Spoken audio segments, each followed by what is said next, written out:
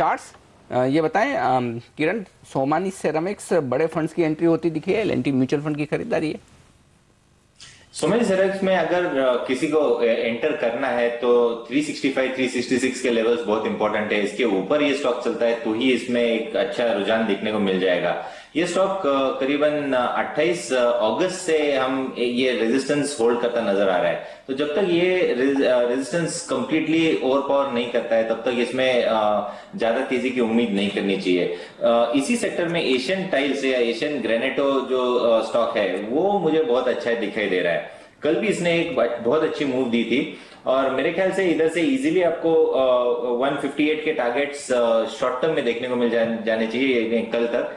पर अगर medium term की बात करें तो एक फॉलिंग ट्रेंड लाइन है, उसके ऊपर ट्रेड करता नज़र आ रहा है। तो मेरे ख्याल से वन फिफ्टी एट को अगर जाएगा तो ये इजीली ये ट्रेंड लाइन क्रॉस करता नज़र आएगा। तो मेरे ख्याल से ये एक आठ नौ महीने की कंसल्टेशन के बाद ये मूव आ रहा है। तो मेरे ख्याल से ये एक इस सेक्टर का आउट परफॉर्मिंग स्टॉक रहेगा। ओके